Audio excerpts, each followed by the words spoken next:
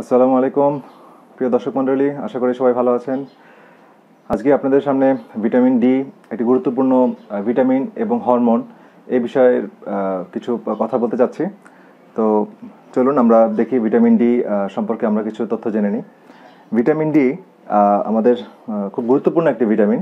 তো এটা এত গুরুত্বপূর্ণ এবং এটা রোগ প্রতিরোধ ক্ষমতার সাথে এত ওতপ্রোতভাবে জড়িত, যেটা আমরা হয়তো অনেকেই জানি না। তো এই বিষয়টা সবার সাথে শেয়ার করার জন্যই আজকে এই বিষয়টার অবতারণা করা। তো ভিটামিন ডি আমরা যা, বলছি ভিটামিন বাট ইনফ্যাক্ট এটা ভিটামিন যতটা যতটা না ভিটামিন তার চেয়েও বড় ভূমিকা পালন করে, এটা it acts as a hormone okay so vitamin D যেটার আমরা অভাবের কারণ এবং এর প্রভাবটা আমরা কিছু আলোকপাত করতে চাই। তো ভিটামিন ডি আমার শরীরে কি কাজ করে? ভিটামিন ডি আমাদের শরীরে অন্যতম একটা কাজ হচ্ছে যে ক্যালসিয়াম অ্যাবজর্পশন করে। আমরা যে খাবারের মাধ্যমে যে বিভিন্ন খাবারের মাধ্যমে যে ক্যালসিয়ামটা আমার শরীরে প্রবেশ করে, সেটা আমার ইন্টেস্টাইনে যখন যায় ক্ষুদ্রান্তে যখন যায়, সেখান থেকে সে পুলিং করে। ভিটামিন ডির প্রভাবে বা ভিটামিন ডি এর কারণে সেই ক্যালসিয়ামটা পুলিং হয়ে রক্ত, রক্তের মধ্যে চলে আসে এবং তারপরে সেটা সারা শরীরে সার্কুলেট হয়। যেখানে যেখানে প্রয়োজন সেখানে চলে যায়।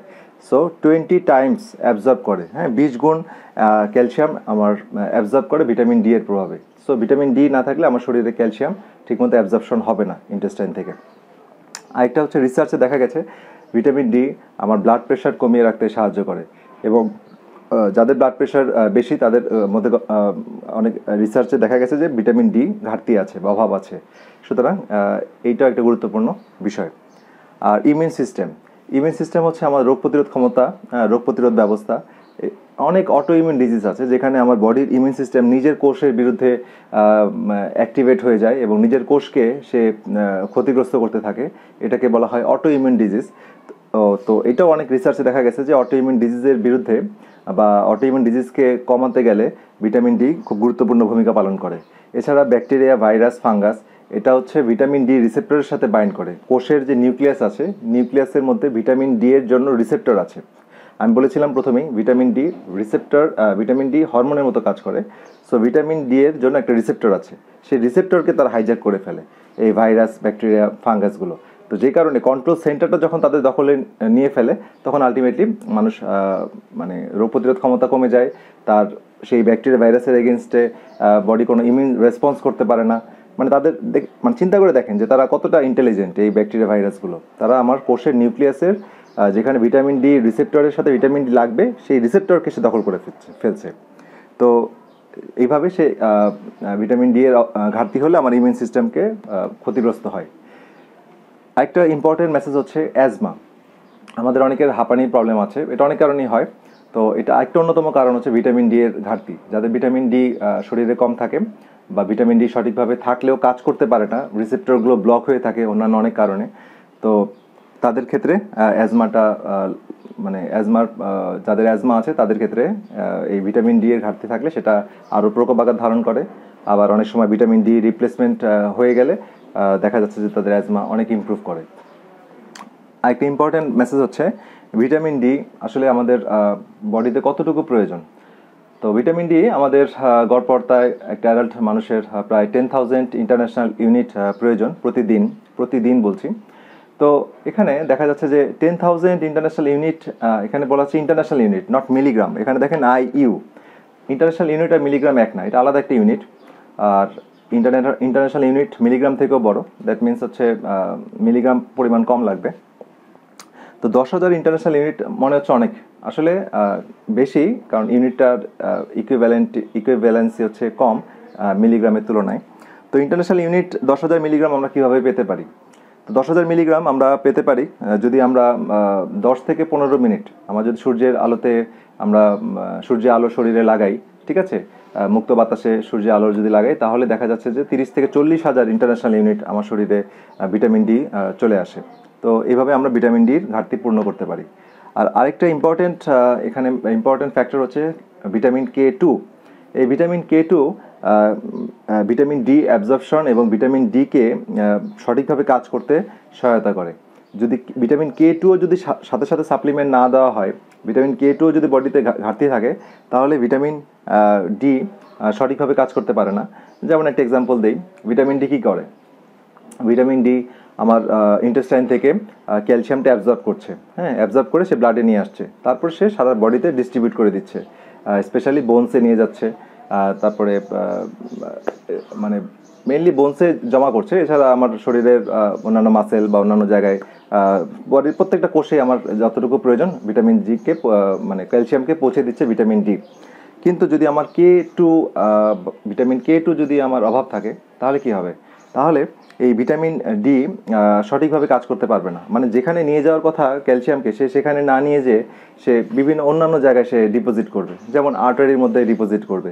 করে করবে কি আর্টারিয়াল ক্যালসিফিকেশন তারপরে আবার মাসেলের মধ্যে ক্যালসিফিকেশন মানে ইনঅ্যাপ্রোপ্রিয়েট জায়গায় সে নিয়ে যাবে। তাহলে কি হচ্ছে ব্যাপারটা বোঝা গেল তো? ভিটামিন কে টু আমার ভিটামিন ডিকে সঠিকভাবে কাজ করতে বা সঠিক ডিরেকশনে কাজ করতে হেল্প করছে। ওকে এরপরে ইম্পর্টেন্ট একটা ফ্যাক্টর হচ্ছে ভিটামিন ডি এর ঘাটতি হলে আমাদের বোন পেইন হয়। হ্যাঁ হাড়ে ব্যথা হয়, সোজা কথা। তো এই হাড়ে ব্যথাটা আমরা ভিটামিন ডি রিপ্লেস করলে আমাদের ব্যথা চলে যায়। আর হাড়ে ব্যথাটা আমরা কীভাবে বুঝব? আমাদের বাসায় বসে আমরা একটা ছোটো টেস্টের মাধ্যমে বুঝতে পারি আমার ভিটামিন ডি ঘাটতি আছে কিনা।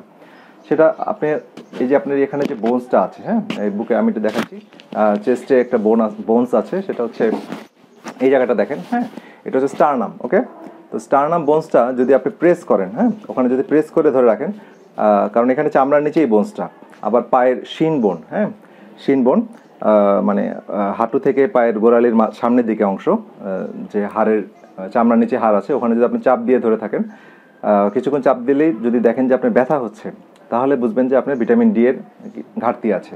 তো সেসব ক্ষেত্রে দেখা যাচ্ছে যে ভিটামিন ডি রিপ্লেস করলে সঠিকভাবে রিপ্লেস করলে পনেরো বিশ মিনিটের মধ্যেই এই ব্যথাগুলো চলে যায়। তো এটা একটা ওয়ে সেই জন্য আমাদের ভিটামিন ডি এর ঘাটতি যেন না থাকে, সেই বিষয়টা খেয়াল রাখতে হবে। ওকে আরেকটা হচ্ছে প্রিভেন্ট ডিপ্রেশন এটা একটা ইন্টারেস্টিং স্টাডি যে যাদের মধ্যে হতাশা, যাদের মধ্যে খুব কষ্টবোধ মেলানকলি ডিপ্রেশন অ্যাংজাইটি ডিসপেয়ার এই বিষয়গুলো থাকে তাদের দেখা যাচ্ছে যে ভিটামিন ডি ঘাটতি আছে। আবার একইভাবে vice versa vitamin D replace করে দিলে সাপ্লিমেন্ট তাদের শরীরে যদি না হয়, তাহলে দেখা যাচ্ছে যে তাদের এই ডিপ্রেশনটা অনেকাংশে কেটে যায়। ঠিক আছে? এই জন্য আমরা দেখি যে ইউরোপ, আমেরিকা বিকালবেলা অনেক আমরা নভেলে পাই, অনেক গল্পে পাই সেখানে দেখা যাচ্ছে বিকালবেলা মেলানকলিটা অনেক বেশি হয়। হুম বিমর্ষ ভাব। বিকজ ইউরোপে যখন উইন্টার থাকে হ্যাঁ বা আমেরিকায় বা এই সময়টা উইন্টার যেখানে থাকে বেশি, যখন সূর্যের আলো আসে না, অনেক দিন ধরে সূর্যের আলো আসে না, তখন মানুষের মধ্যে এই অবসাদ বা দুশ্চিন্তা, বিষাদ হ্যাঁ বা বিমর্ষ ভাবটা বেশি থাকে। তো যাই হোক, এখন আমরা কিছু কারণ আপনাদের সামনে উল্লেখ করতে চাচ্ছি যে ভিটামিন ডির ঘাটতি হয় কি কি কারণে। একটা হচ্ছে গল ব্লাডার ওকে যাদের গল ব্লাডার ফেলে দেওয়া হয়, তাদের ভিটামিন ডি ঘাটতি হয়। কীভাবে? কারণ গল ব্লাডারের মধ্যে কি থাকে? বাইল লিভার থেকে বাইল তৈরি হয় এবং এটা স্টোর হয় গল ব্লাডারে বা পিত্তথলি, যেটা আমরা বাংলায় বলি। ওই পিত্তথলিতে পিত্তরস যেটা গল ব্লাডার জুস বা এটাকে বাইল বলে। তো এই বাইলটা কি করে? বাইলটার মেইন কাজ হচ্ছে যে বাইলটা ফ্যাট যেহেতু ভিটামিন ডিটা একটা ফ্যাট সোলেবল ভিটামিন হ্যাঁ? মানে ফ্যাট প্রয়োজন হয় এই ভিটামিনটা অ্যাবজর্ব করার জন্য। তো বাইলটা তখন যে, যখনই আমি ভিটামিন সমৃদ্ধ খাবার খাচ্ছি ভিটামিন ডি সমৃদ্ধ তো বাইলটা যে ইমালসিফিকেশনের মাধ্যমে ওই ইন্টেস্টাইন থেকে এটাকে নিয়ে আসে, ঠিক আছে? শরীরে এটা ব্লাডে নিয়ে আসে। তো যাদের গল ব্লাডার নেই, তাদের বাইল থাকতেছে না, পর্যাপ্ত বাইল থাকছে না, তো তাদের ক্ষেত্রে ভিটামিন ডির ঘাটতি দেখা যায়। আরেকটা হচ্ছে cortisol this is very important cortisol কি? কর্টিসল একটা স্ট্রেস হরমোন তো এই স্ট্রেস হরমোনটা দেখা যাচ্ছে যে ওই যে ভিটামিন ডি এর যে রিসেপ্টর আছে নিউক্লিয়াসের ভিতর, সেই রিসেপ্টরের সাথে, সেই কর্টিসলটা যে বাইন্ড করে। বাইন্ড করার কারণে সেই ভিটামিন ডিটা কি করছে? ভিটামিন ডিটা মানে ভিটামিন ডি এর রিসেপ্টরের সাথে বাইন্ড করতে পারছে না, যুক্ত হতে পারছে না, যে কারণে সে সঠিকভাবে কাজ করতে পারছে না। সুতরাং কর্টিসল ইজ ভেরি মানে bad for vitamin D absorption and vitamin D অ্যাক্টিভেশনটা দায়ী। তো কর্টিসলটা আমরা এখন জানি যে কি কি কারণে কর্টিসল ব্লাডে আসে।